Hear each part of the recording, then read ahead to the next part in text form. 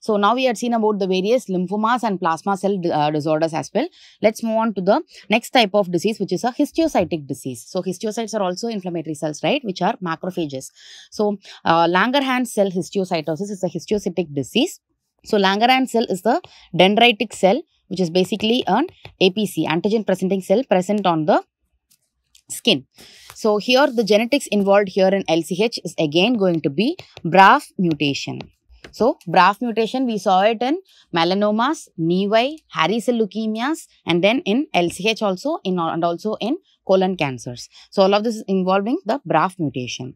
So what are the various forms of this LCH? So LCH, there are three basic uh, disease forms. So I, uh, it is not important nowadays. Previously, this system was followed. Nowadays, it is not being followed. So just remember the names because they are fancy names. So the first form of the disease is going to be a multifocal disease involving multiple systems as well. And it is given a syndrome name, which is Letterer-Siwe syndrome. So Letterer-Siwe disease here, this is going to affect the uh, less than two years of age group and it is quite aggressive because it is going to involve multiple systems. Usually, it is going to involve the bone and skin commonly. Okay, and then the second disease will be the second form will be the eosinophilic granuloma. So, as the name suggests, you are going to have lots of eosinophils in this in this thing, and this is a unisystem disease. So, usually it is going to involve involve the calvarial defects. So, calvarium means the skull. So, calvarial defects is going to be present in eosinophilic granuloma.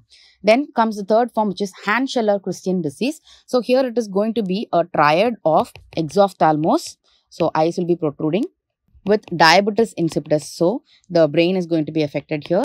And then there are going to be calvarial defects same as in eosinophilic granuloma. So, it's, it's a triad. Hand-Schüller-Christian disease is a triad of exophthalmos, diabetes insipidus and then calvarial defects. So, the last form is the pulmonary uh, form of LCH. So, in pulmonary, uh, in the lungs also you can have this LCH which is uh, very commonly associated with smoking.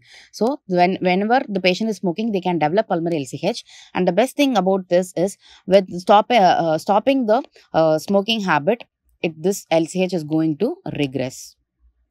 Okay. So coming to the morphology, here again we have uh, picture-based questions in LCH. That is why it is quite important here. So in LCH, you are in, in this image, if you see, there are lots and lots of these eosinophils, right? The entire thing here is eosinophils. Look at the color of the uh, cytoplasm in these cells. It is kind of orangish, right?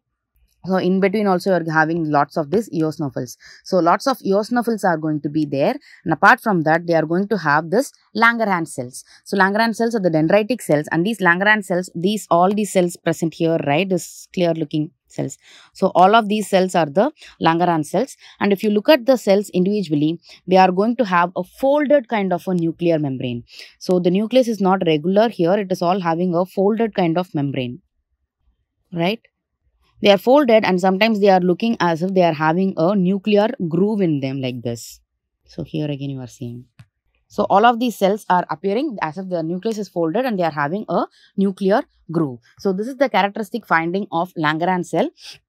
So Langerhans cell is going to have nuclear folding along with the presence of nuclear grooving. So whenever nuclear groove is present, it is going to give a coffee bean appearance. So it is called as coffee bean nuclei. So coffee bean nuclei kind of cells in the background of eosinophils, you will have to think about a uh, LCH in a child usually.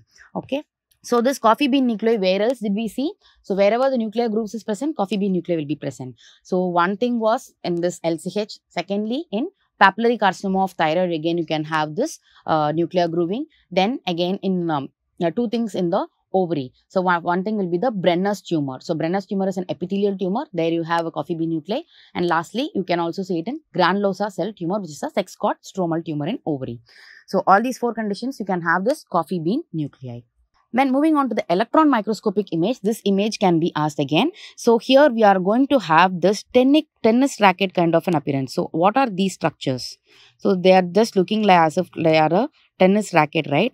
And in this handle you are having this kind of an appearance.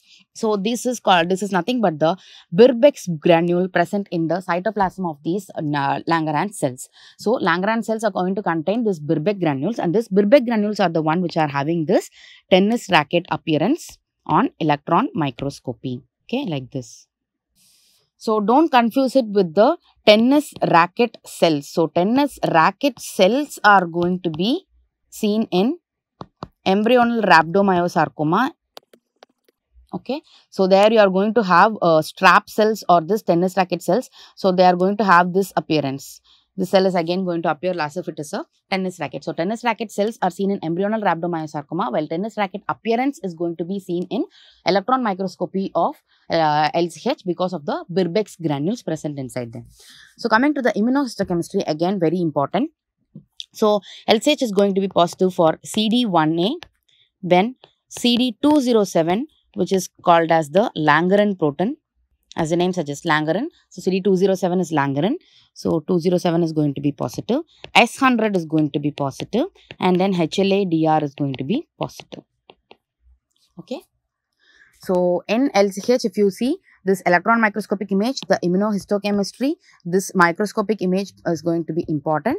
Apart from this, this forms can be asked and BRAF mutation. So, LCH is again quite important.